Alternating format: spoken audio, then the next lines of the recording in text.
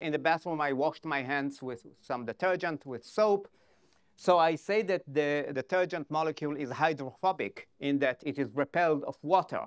Now, come on, uh, there is no real phobia there. There is no fear. It's just electric interactions. Now, here, this unicellular creature is photophobic, right? If I shed light on it, it swims away. I don't need to invoke any fear.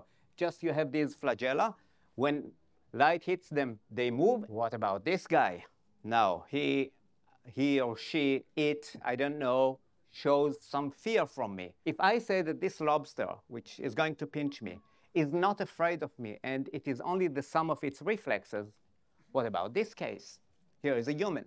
Between it, there is my cat, there my, uh, the chicken in my garden. Where along evolution do I talk about consciousness rather than physical events?